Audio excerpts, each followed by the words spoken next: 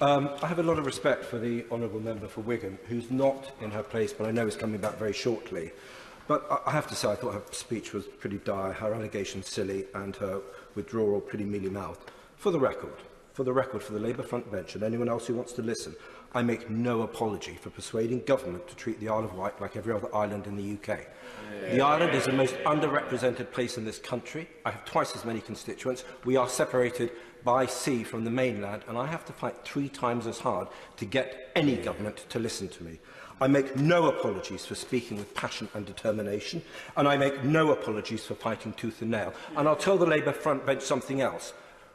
The, uh, the first round of levelling up, we weren't in the first round of levelling up. And do you know what? By last December, we were. And we are now getting a new crane for White Shipyards, which is dozens of apprenticeships. And I'm proud of that. So if the Labour Party wants to insinuate anything about that, they are welcome to. I will make one final piece of advice before I go on to the real issues here. The reason why there are so many of us here not only in this debate, but in this House, is maybe, just maybe, because we have a reputation for delivering for our folks. Yeah. And that is something that I think the opposite side of the House may want to take into account. Anyway, that is almost a minute and a half of my life. I'm not going to get back. So moving on to the substance of the bill. Um, the presentation of Tory, the presentation of Tory MPs somehow saying no, no, no to change is, is, is not true.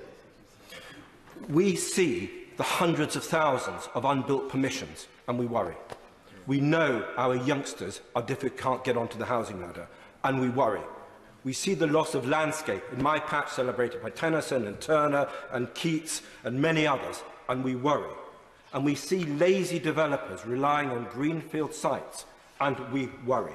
We want the system to change. But what we don't want is a system that keeps on giving to developers who then give nothing back, who pocket development and then say, more please, like some inverted Oliver Twist. What we want is people who deliver for our communities, but also for the nation.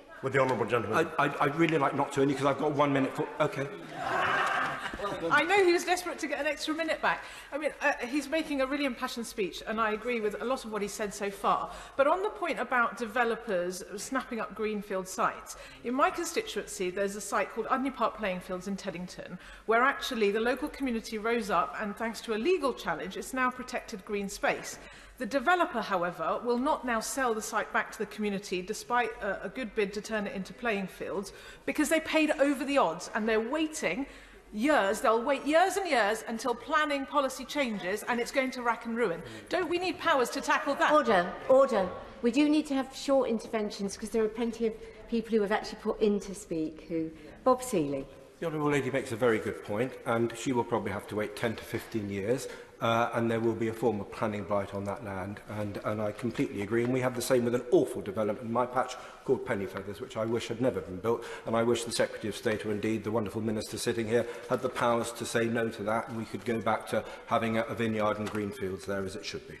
Um, Just onto the amendments, and I'm very supportive of, of previous speeches from many uh, colleagues on this side of the House, just looking briefly at those amendments. Targets, they are the bane of so many of our colleagues. They need to be advisory, not mandatory, and I would remind the government that neighbourhood plan areas tend to say yes to more development because they get the chance to shape them. So if we don't feel development is being shoved down our throats, but we can shape it more, the government will have greater success. The Secretary of State heard about the pernicious loopholes made a few days ago by the Honourable uh, Friend from Wantage and others about the, the vandalism of triple SIs, the way that people gain the system corruptly. Why is character not grounds for opposing development? Why can't we shut down these loopholes that do such damage to our countryside, to national parks, to AONBs?